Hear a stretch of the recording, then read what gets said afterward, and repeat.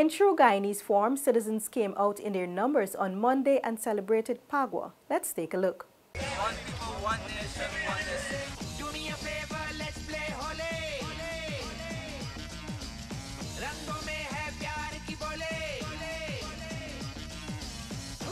As our Info Hub team roved the capital city, families could be seen taking part in one of the most ancient, joyous, and colorful festivals of the Hindu calendar. Just a brief history on the eve of Phagwah, during the full moon, there is an event called the burning of Holika, which ushers in Phagwah. In Hindu Vedic scriptures, Holika, a demoness, was burned to death with the help of god Vishnu.